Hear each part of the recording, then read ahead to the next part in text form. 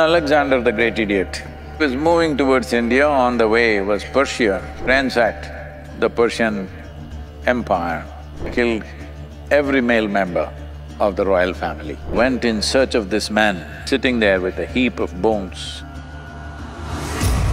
This happened. When Alexander the Great Idiot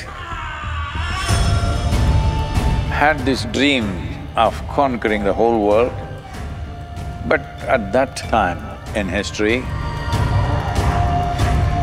the important part of the world, and even today is, but at that time it was significantly so, was everybody wanted to conquer India because of the wealth and the culture and the most prosperous nation on the planet, all these things.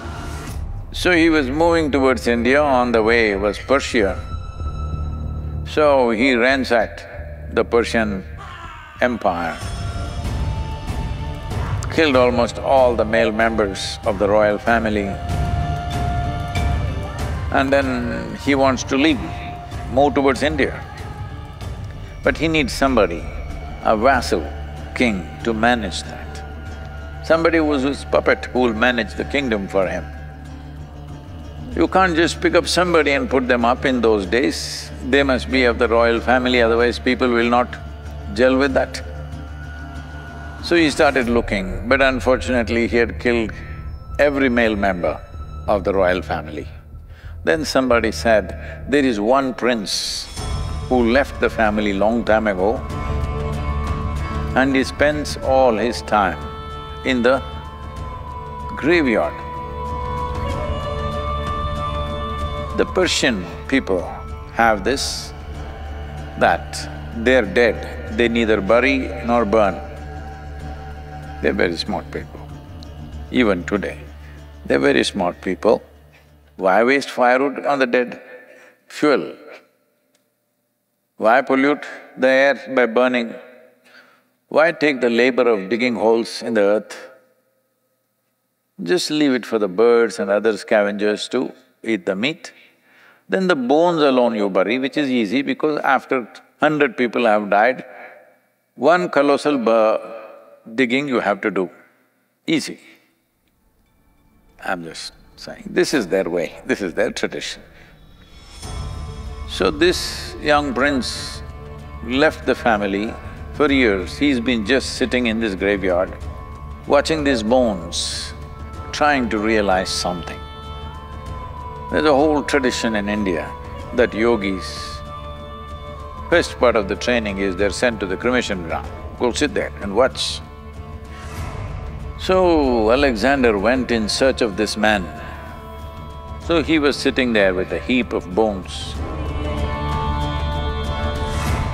Alexander said, see, I will make you the king. You just be there as a king. I will take care of everything. My soldiers will manage everything, my people will manage everything. You just be the king, sit on the throne, wear the crown.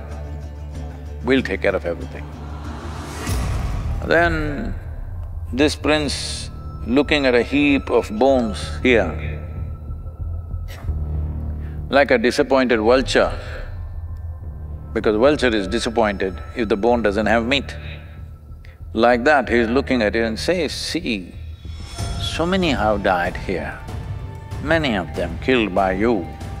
And uh, some are rich, some are poor, some were royal families, some were ordinary people, some were high, some were low. I've been trying to make out through these bones which one is high bone, which one is low bone, which one is royal bone, which one is ordinary bone, which is a rich bone, which is a poor bone. I'm not able to get it, can you tell me? Alexander looked at it, this is too complex for me, he just left and went away. It was too much for him. The most precious thing is your life, it is slipping away. You are thinking this and trying to find explanations for the drama that's happening around you, time is going away. If you could stop time and discuss how your husband is not okay, we can do it. But time is going away but we are investing time in things that we don't care for. If you knew time is going away, you would not invest in things that you don't care for, isn't it? So I'm thinking of providing, uh, creating a device, we are working on it right now, that every day it's reminding you, oh, you're fifty years of age, fifty percent of the sands of time are gone. And it, as you see, it is just going away. You've seen the old hourglasses, that was just telling you the hour is getting over. This we make it little enlarged to see how your life is getting over all the time. Because if you sit, it goes away. If you stand, it goes away. If you do something wonderful, it goes away. If you do something nasty, it goes away. You did nothing, it goes away. This is the nature of time and life.